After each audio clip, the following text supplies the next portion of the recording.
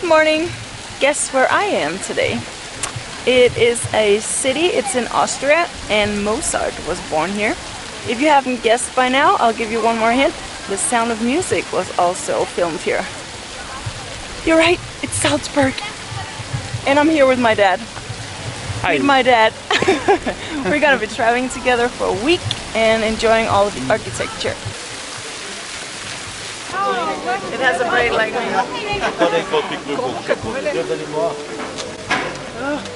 I like horses, but they're also a little bit scary to me. They're so huge. Daddy likes them. I'm grown up with big animals. Yeah. Ho- horses and cows and so on, so no problem for me. Yeah. I like it.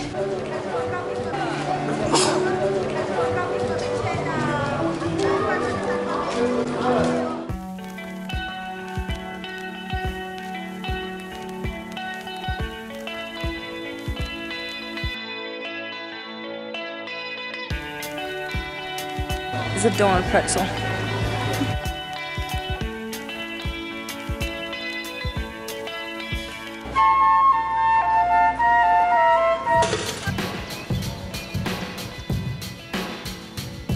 We just took a lift all the way up and this is one of the most visited attractions in all of Austria.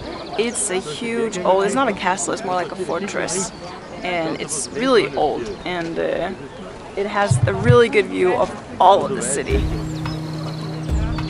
When they built this place, their plan was to build it so huge that no one would even want to try to seize it. And apparently it helped because it's only been attacked once, and that was when it belonged to Germany and it was their own civil war. But it was only once, and they didn't succeed, so no one has ever conquered this huge fortress. So the plan worked.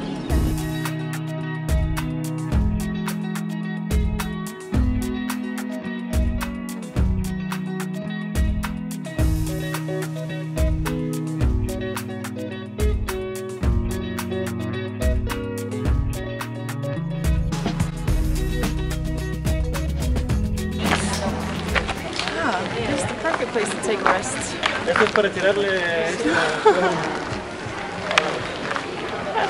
They have a string puppet kind of museum here. That's amazing. I love string puppets. They're so funny.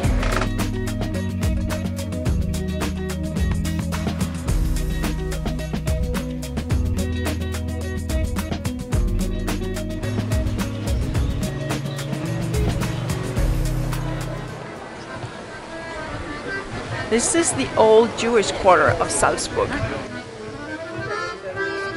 In Salzburg, there is one main shopping street, and it's called Getreidestraße. I think it means the street that you walk on.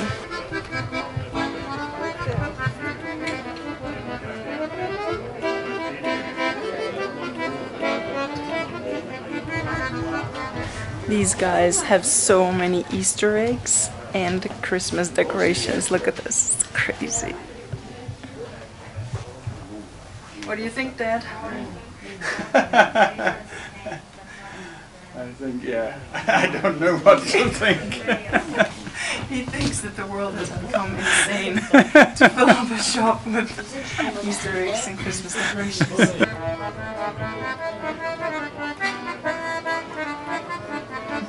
We just bought some yum chocolate! And here comes the sun. Getreidegasse is not only famous for its good shopping. Its biggest attraction has to be Mozart's childhood home, which is located right here on this pedestrian street.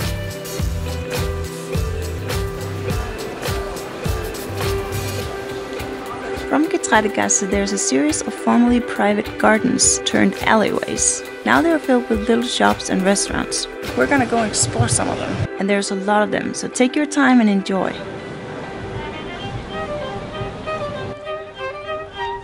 These alleyways are seriously really nice and cozy.